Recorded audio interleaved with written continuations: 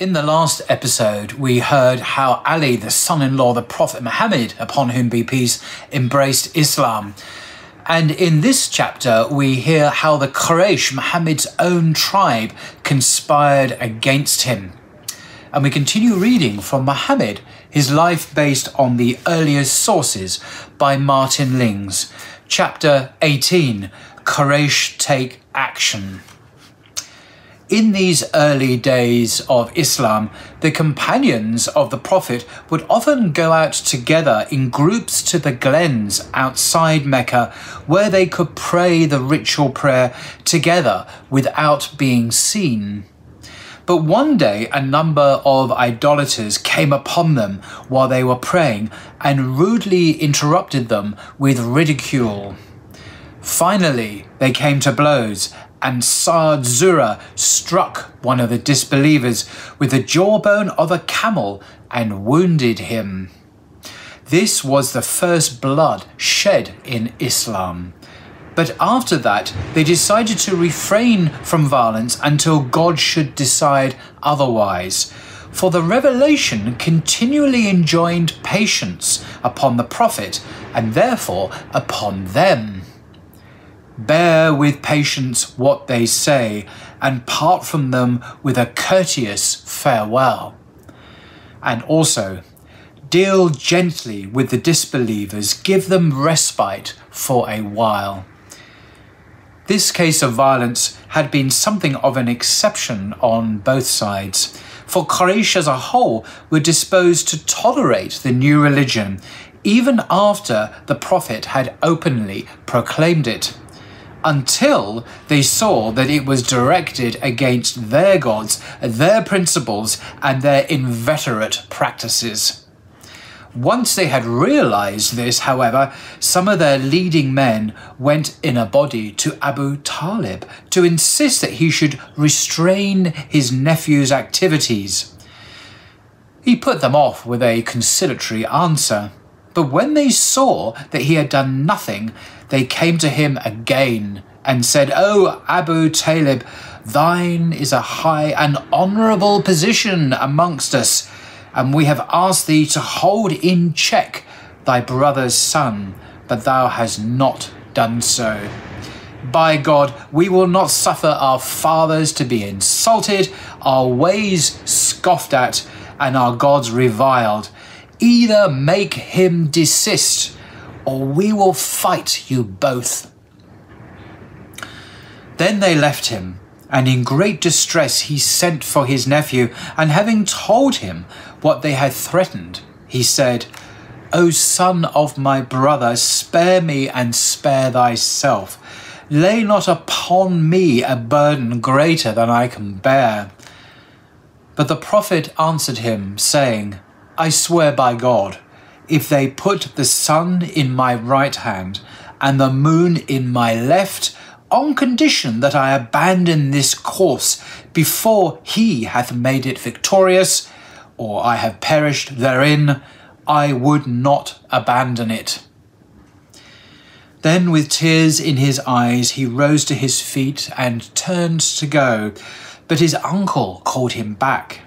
Son of my brother, he said, Go thou and say what thou wilt, for by God I will never forsake thee on any account. When they found that their words had achieved nothing with Abu Talib, Quraysh still hesitated to attack his nephew directly, for as a chief of clan, Abu Talib had power to grant inviolate protection and it was in the interests of every other chief of clan in Mecca to see that the rights of chieftaincy were duly respected.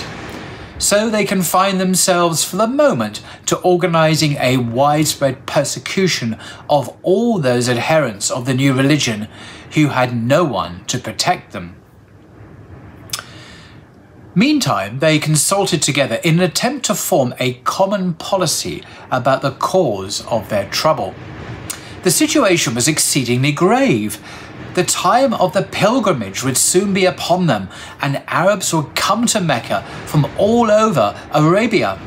They, Quraysh, had a high reputation for hospitality, not only as regards food and drink, but also because they made every man welcome, both him and his gods.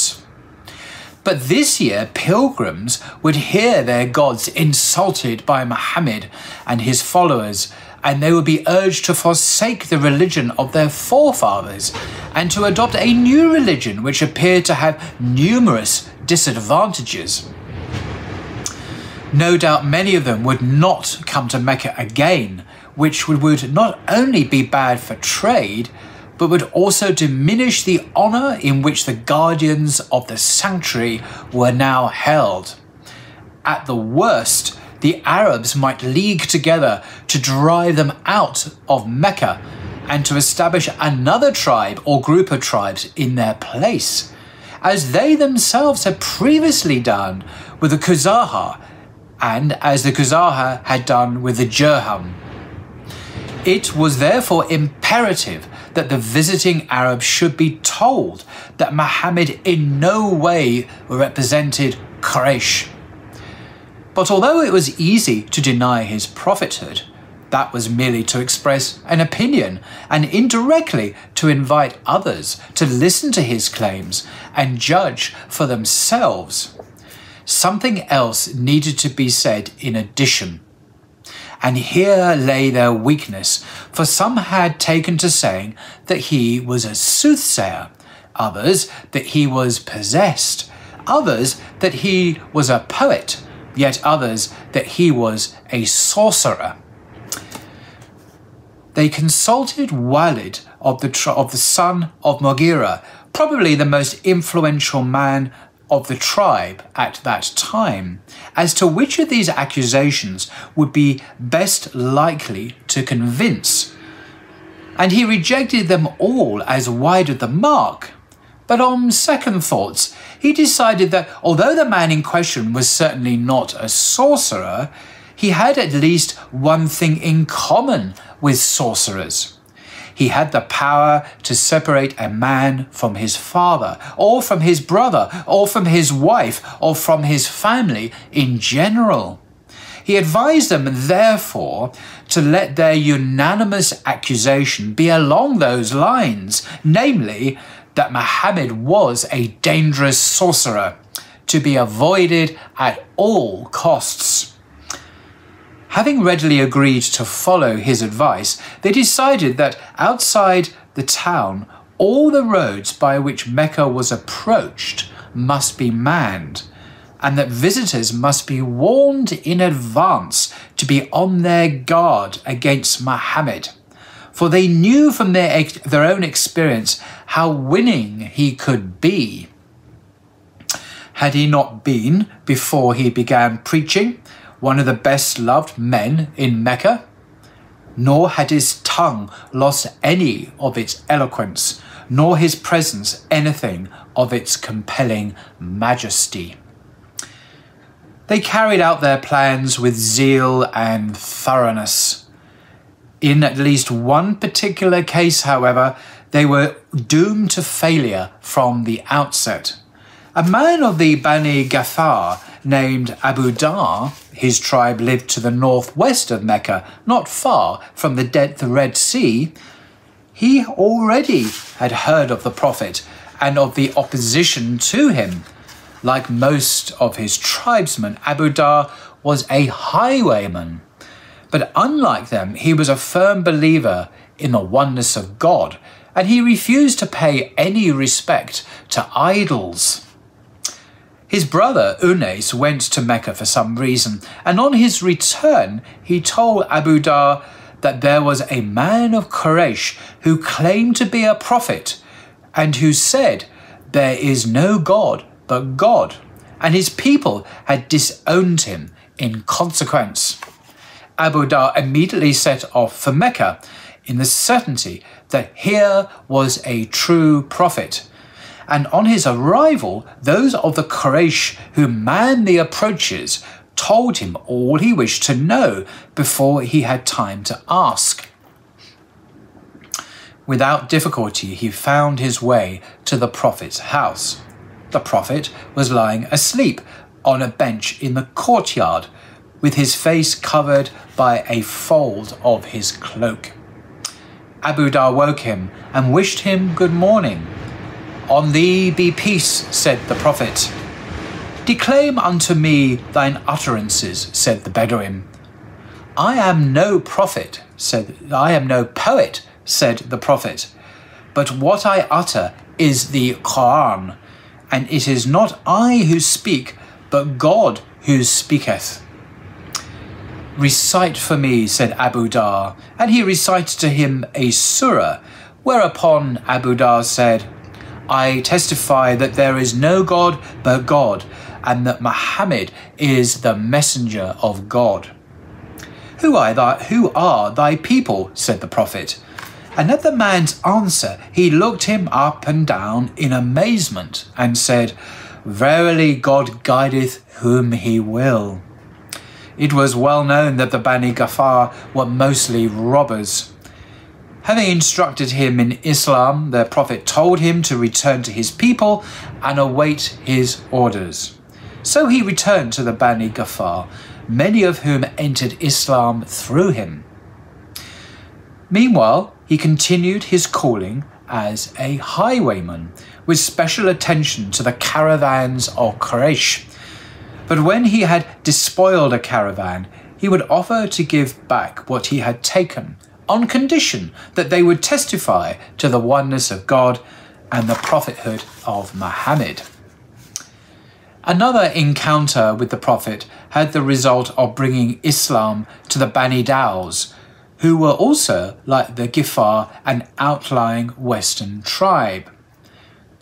Tufail, a man of Daws, told afterwards how he had been warned on his arrival in Mecca against speaking to the sorcerer Muhammad or even listening to him, lest he should find himself separated from his people. Tufail was a prophet and a man of considerable standing in his tribe.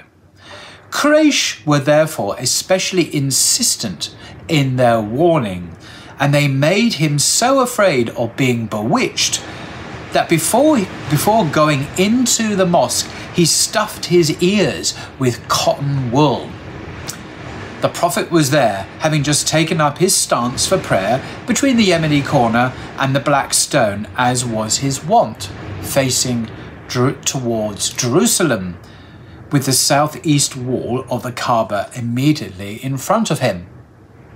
His recitation of Quranic verses was not very loud, but some of it, nonetheless, penetrated Tufail's ears. God would not have it, he said, but that he should make me hear something of what was recited. And I heard beautiful words. So I said to myself, I am a man of insight, a poet, and not ignorant of the difference between the fair and the foul. Why then should I not hear what this man is saying? If it be fair, I will accept it, and if foul, reject it. I stayed until the Prophet went away, whereupon I followed him. And when he entered his house, I entered upon his heels and said, O Muhammad, thy people told me this and that, and they so frightened me about thy state that I stuff mine ears, lest I should hear thy speech. But God would not have it, but that he should make me hear thee. So tell me thou the truth of what thou art. The Prophet explained Islam to him and recited the Quran, and Tufail made his profession of faith. Then he returned to his people, determined to convert them. His father and his wife followed him into Islam, but the rest of Daws held back, and he returned to Mecca in great disappointment and anger, demanding that the Prophet should put a curse on them. But instead, the Prophet prayed for their guidance and said to Tufail, Return to thy people, call them to Islam, and deal gently with them. These instructions he faithfully followed, and as the years passed, more and more families of Daws were converted. Before meeting the Prophet, Tufail had only met his enemies, but other pilgrims met also his followers, who told them a story very different from what the enemies told them. And each believed what his nature prompted him to believe. As a result, the new religion was spoken of, well or ill, throughout all Arabia. But nowhere was it more a theme of talk than in the oasis of Yathrib. And that's the uh, 18th chapter Quraysh Take Action. Till next time.